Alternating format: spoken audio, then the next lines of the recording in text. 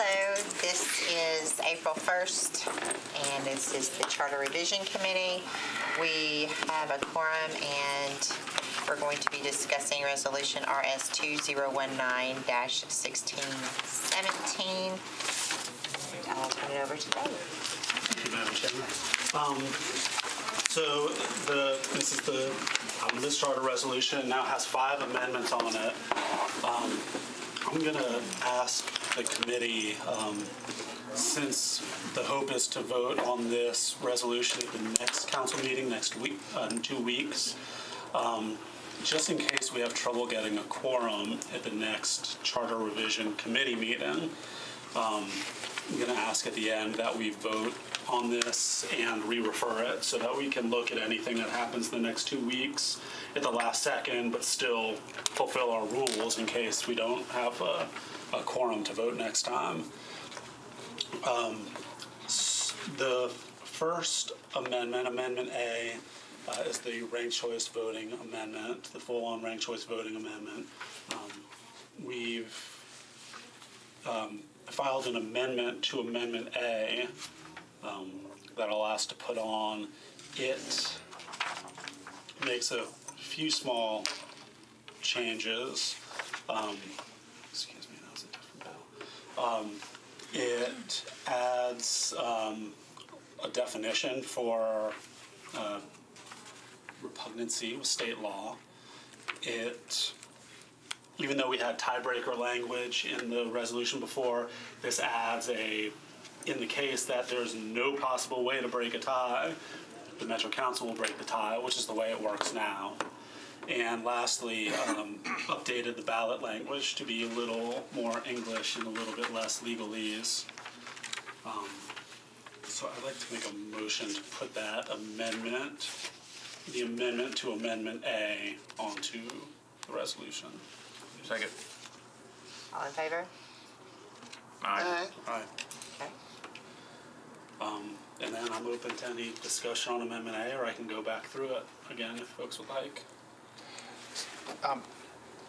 So the, when this, when it goes to the council, are we're voting for just the bill with whatever uh, charter amendments are in there? or Are we voting for? We get to vote on each one separately. Each amendment itself needs 27 votes, and then the underlying resolution needs, underlying resolution, which at that point will contain whatever amendments got 27 votes, will itself need 27 So, votes. so if I persisted in the liking B better than A, voting for it in the committee just gives the council a chance to think about A and B both? Right. Okay, thanks. Has the Charter Commission said anything on this? They're meeting next Friday. Gotcha. So we'll have an opportunity, when we re- re-refer, we'll have an opportunity to discuss their comments further. Any other questions? And I'll move approval of Amendment Second. All in favor? Aye. Moving A passes. Amendment B, thank you, is a backup in case the council does not like, uh, or we come up with 26 votes instead of 27 for Amendment A. Amendment B uh, just implements ranked choice voting for special elections for vice mayor and special elections for district council and would not affect the election in four years. And there's an amendment to Amendment B that does the exact same thing to Amendment B that the amendment to Amendment A did. So I'd like to move approval of um, the- the amendment to Amendment B. Second. Second. Any questions? All in favor? Aye. Moving passes. Open to any discussion on Amendment B. Did you try as hard on Amendment B as you did on A? I did, yes. Made sure that all those changes transferred everywhere. Thank you. Move approval of Amendment B. Second. All in favor? Aye. Aye. Amendment B passes. Now we're on Amendment C, which is Councilmember Cooper's. Well, and uh, thank you. I'm joined by Councilmember Mendes also, and I'm appreciative to the uh, Mayor's Office and to Mike Jameson and to Councilman Mendes for um, using the process to improve um, the amendment and to where I think it's increasingly clean and understandable. And again, is Margaret here, or I see John is I am here. Margaret had to leave. well, I'm grateful for her help on this and to Mike's. And so, again, I think um, I'm grateful to everybody for, again, making this um, smoother. So I'll, I'll move the amendment to Amendment C. Second. All in favor? Aye. And then Amendment C as amended. And Well, happy What's to- the, yeah, just curious what, what changed substantive- substantively?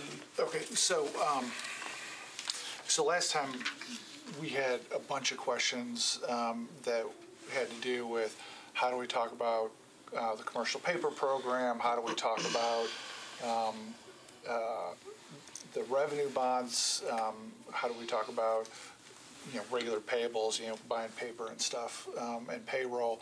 And, and what do we want to include and how do we make sure we use the right words?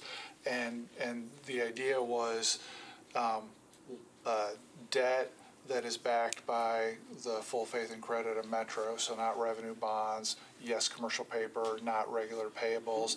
And the words in here um, uh, reflect, um, especially in um, E, um, reflect uh, finance, legal, bond counsel, Jameson, Cooper, Mendes, all agreeing on a set of words to accomplish that concept that I described generally. And then um, A, you'll, you may recognize um, as the same thing um, John, uh, Councilman Cooper had in the last version, just moved to a different spot. And then B, C, and D um, are a, um, all those same people I just mentioned, um, finance, legal, bond counsel, Jameson, Cooper, Mendes, um, agreed on words to stick a little bit of what we get in the annual treasurer's report into the um, uh, budget book also. And so some, the basic info is showing people how much is the debt that's outstanding at the time of the budget book and comparing it to the previous year and what it means per capita. Um, The charter would require that that stuff made it into the budget book. And some of the thinking is that, like, okay, right now, we've got a nice ordinance and cooperative finance department that's giving us a really nice annual debt report, but it's like 65 pages long and sort of mind numbing if you want to. I find it fascinating, but mind numbing for a lot of people. And this would say, even if for some reason that ordinance went away or finance stopped doing that someday in the future, the the charter would always require the basic. Here's the debt. Here's how it compares to last year. Here's how it compares per capita. Um, and, um, and, and have a summary of the total amount that's owed. Um, and the charter would require that. I'll tell you guys that, um, the, uh, net of that conversation was that, um, I think we're gonna have a, a ordinance, um, that comes along later that, tweaks, the law that requires a debt report. There's some stuff that Talia has put in there the last couple of years that's not actually required um, by the current ordinance, things that um, at least Councilman Cooper and I like. And so we're going to ask to have that ordinance changed to basically reflect what Talia's been putting in the last couple of years, which is good information. Okay. And I know this, um, you can say some of this is being done in various different places, but the changes here are actually material change in reporting. Because if this were done last June, there'd be seven hundred and fifty million dollars of commercial paper that would be recognized in debt, and really a billion one in obligated but not yet issued bonds. So together, it's really, it's, it's a correct financial picture of the glide path to the city's indebtedness that really has not been in the front of mind and past. So it seems like a small thing, but in fact, that's a, that's a material change in front of mind reporting. And right now, you go to the GO table in the CAFR, which has a per capita analysis, but does not include this, in effect, billion eight of additional obligated spending, either through commercial paper, which will have to be refinanced into a bond, or waiting to be bonded that we have already appropriated through the capital spending plan. I have a question, and this is not meant to um, uh, wade into y'all's hard work, but I had a question, does it currently require the budget to include payments on debt for future years that we're already obligated for? And if not, could we include that? For instance, you know, it, you know, this is what we have to pay this year, but just so you know, as we obligate operating revenue this year, our debt could, payments could be, you know, going up the next few years, or it could be going down. Does that, does that make sense? Yeah, um, there is a table circulated by finance. I'm not, I don't believe it's formally part of the operating budget book, and that would be an effect. Yeah. That's a very good question. It's in the, it's in the CAFR, It was, the- which is the audit. I mean, but not the out-year projections that you're talking about. I about. mean, like, I mean, to your point, those, these are all things that are readily available, but to put them into one document, like one all-encompassing, you know, these are the most important information you need for the budget. Right. And uh, it may not necessarily need to go in here. If it can be taken care of by ordinance, that's fine. Uh, You know, I don't necessarily want to try to micromanage in the charter, but I think that would be, could be good But information. your to have. thought is to include an additional clause saying, including out-year estimates of debt service payments. Mm-hmm. And again, I don't, I don't want to mess this up, but if it can, if it can be taken care of by ordinance, that's fine. I I don't want to, Well, it's still, I think, out there for discussion. Well, you know, David has, you know, we're re-referring this back to the committee. I mean, it is open to further amendment as, Can, can, we we Comments, can amend this on third? Mark? Yes, it's, because it's a resolution. Yes, but it could probably be taken care of in the ordinance that you're talking It about, could right? definitely be taken care of in then. the I ordinance. think all right, that that- would be that's, that's good. fine. That would be The, good. the, not, to- I know you gotta get to a community meeting. Um, the, the thing in the weeds that I, I, I never love about the chart that Councilman Cooper refers to is that, so there is a chart somewhere that shows how much, uh, bond payments will be in future years. Uh, but it, um, it's always put together from the perspective of all new bonding stops. So it's not really, because it, it always shows the debt Yeah, okay. usually tailing off. um, And then you're, That's under the assumption we're not issuing any more debt. Right. If you, okay, Or ever spend another capital dollar. right. and, okay, and, and it would be a little unfair to try to put that in there because who knows what Sure. people are going to approve or not approve. Um, but so I, I always find that of uh, you know once it gets beyond like a couple years out, I, I don't find it super helpful. Um, uh, but and so may, so maybe the ordinance as opposed to the Uh, That's fine. That- That's fine. That's, I it- this sounds like something more for the ordinance. That's, that's fine. I'll, I'll read the, the ordinance then at that time. I don't want to get into this. Yeah. Please do, though, Yeah. good. That would be good. Any more questions? Wanna move it? Of Amendment C? Second. All in favor? Aye. Amendment C passes. Amendment D. That's me. Um, Amendment D kind of came about, I came up with this like two years ago, and I've just never had a chance to really try to bring it to the Charter Commission before, or committee. Um, I realized, I started looking back over the Planning Commission, I realized that most of the members of the Planning Commission seem to come from the downtown core, or West Nashville, or 18, around there. So I always thought to myself, how would any of planning commissioner, when bills come before them about developments that are in District One, or Forest Hills, or Bellevue, or Antioch, or Hermitage, or Old Hickory, how would they ever know what, what they're talking about? So I thought that representation on the planning commission should represent the county as a law, as a whole. And so Mike and I kind of sat down, we had a discussion about what's the best way to kind of split it up. So you have 10 planning commissioners. We decided that, I think by state law, and I think uh, Attorney Cooper and Mike both looked at it, by state law, the, the mayor has to appoint to the planning commission. But what we did was, we have 35 council districts, we split it up by seven planning districts. So that would include five district council uh, council districts for each planning district. And so we split them up into seven different districts. And I kind of, I'll run through these just so y'all can kind of hear them, so you'll kind of get in your mind. So there's districts one, two, three, nine, and 10 which are all up in the northern part of the county. 5, 6, 7, 8, 19, that's East Nashville, Madison, and downtown. 11, 12, 13, 14, 50, that's all Donelson, Hermitage, Old Hickory. 16, 17, 18, 21, 25, that's all south of downtown. 4, 26, 27, 30, and 34, that's all south of the county. 20, 22, 23, 24, and 35, that's all West Nashville down to Bellevue. And then 28, 29, 31, 32, and 33, that's all the Antioch area. So what that would do is, the mayor, it wouldn't happen immediately as planning commissioners start falling off. The mayor would start appointing from these planning districts. So you would ultimately, at the end, have seven planning districts. The mayor has appointed seven people, but they represent the entire county. So when you have a bill come up, whether it be in Hermitage or Bellevue, there's someone on that planning commission who actually knows the area of town that they're talking about when the bill is being presented to them. It's just not someone from downtown saying, well, I've heard of that part of town, but I've never been out there before. So, uh, you know, and that's what we're trying to do is make sure that the county's represented on the planning commission. The mayor still gets to appoint. He has two at large. So if he feels like there's one area of town, whether it be downtown or some part of town that's busy and he feels like we need some planning commissioners from that area, he still has the ability to appoint those. And then we still have the one council member.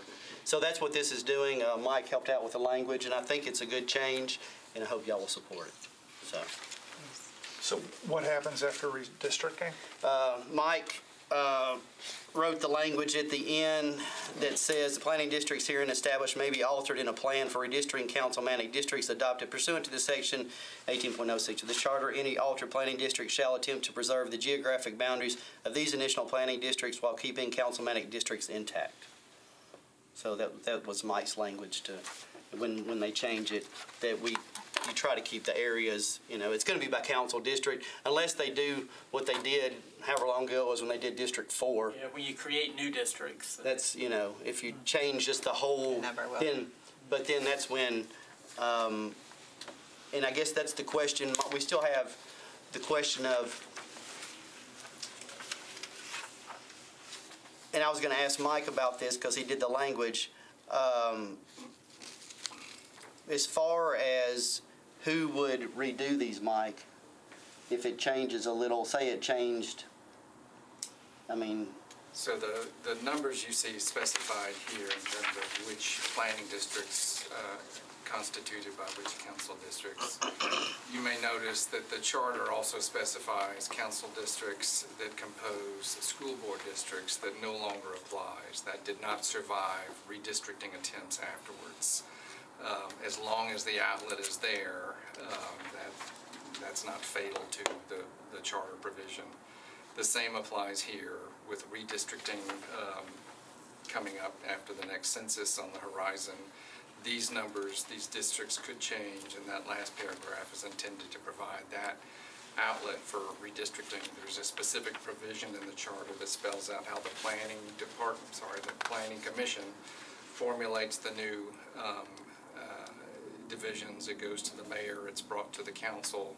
The council approves, it cannot amend, it just approves up or down, and those are the new, uh, essentially the new boundaries of the new district creations. And we- Sorry, when we did these, we, we looked at it and we was like seven, divide, you know, you got five council districts. Right now, there's about seven hundred thousand people um, in the county, so if you split it up by the, the way it is right now, there's about hundred thousand people would be in each one of the planning districts.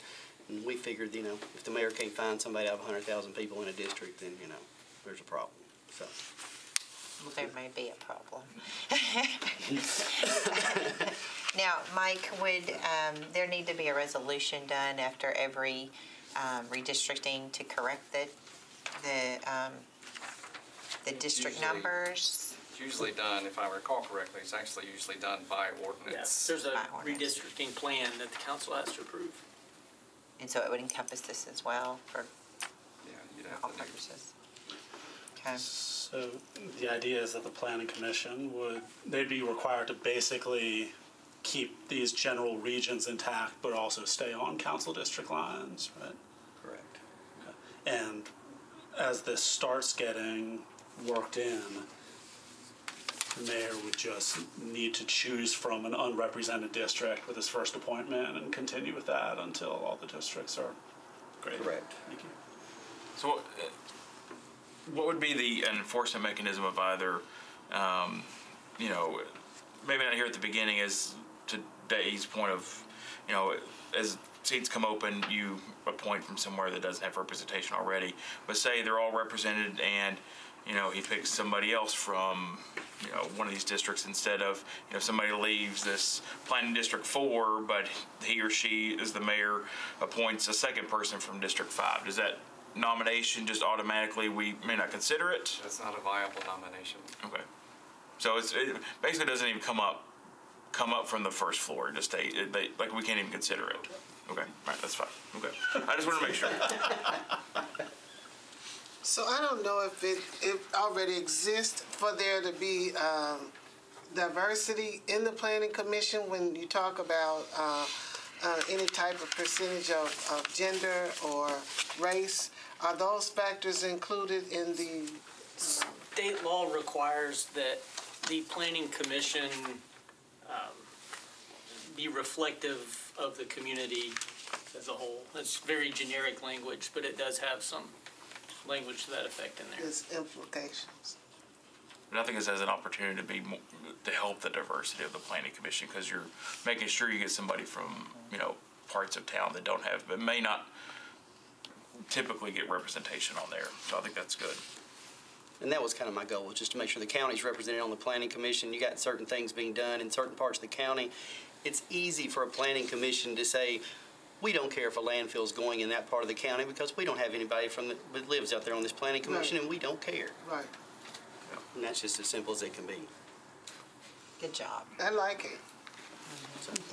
And, and it's similar, and I don't know if this is the appropriate, but um, BZA, you know, with some of the recent emails that we've gotten, to make sure that we don't put people who are, you know, swayed one way or the other.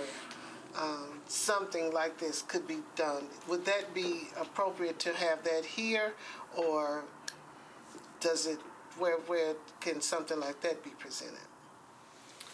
The, um, if I recall correctly, the BZA, the, the number that we currently have on the BZA, I think, let me double check this, but I think state law was changed within the last couple of years to allow a larger number than currently serves. Um, Let me double check that before I start spouting it as gospel. Um, But otherwise, you would have similar opportunities as here. If no further discussion, I renew my motion. Second. All in favor? Aye. Bill passes. E passes. And E is basically just cleaning up the charter. Uh, We're currently doing this now. The state overrules what is in the current charter, so this just um, complies with what the state has us doing already, basically stating that um, um, that the, the the charter currently provides that a vacancy upon the Metropolitan Board of Education is to be filled by the remaining members of the board. However, such vacancies are filled by the local legislative body pursuant to state law. Um, This amendment would revise the charter to render it consistent with the state law. So basically, we can, um, we would appoint, you know, to the Board of Education if somebody leaves. And this, like you said, is, this is the current charter is inconsistent with state law. And this Right. just makes us consistent with state law.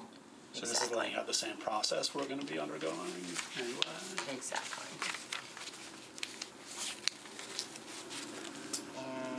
While we're on that issue, Mike, does the, did we just get a letter from the Board of Education stating, stating that they have a member that has resigned? And then we go through the process of appointing? You have Mr. Pinkston's letter, and if I recall correctly, that designates April 12th as the, as his effective date. So I believe the vice mayor is inclined to wait until it's actually a vacancy. And then, because the charter says what it says, it doesn't spell out the, the process. Um, So we would simply go by our rules, 40, 41, and 42, on how we fill vacancies and other scenarios. You'll see a letter from the vice mayor announcing the vacancy, encouraging members to uh, take nominations, submit them on the floor at the next meeting. uh, candidates will then come before the Rules Committee in this room and then be on the floor. And so if he does that April 16th, May 7th, then the May 21st meeting is likely the timeline on that. Okay. Thank you, sir. Move to approve. Second. All in favor? Aye. All right, well, D passes. Any other questions? You may want to take it as amended Yeah. I would move approval as amended and re-refer to this committee, please. Second. All in favor? Aye. The amendment passes, or the bill, resolution passes with all the amendments. And you get 17 minutes to get back to your district. I know, right? I just want to publicly thank you, um, you know, Councilman Cooper and Mendes especially, and Rosenberg, you guys have been a fantastic asset to this city, and I appreciate all your hard work. Yep. All right, this meeting is adjourned. Thank you.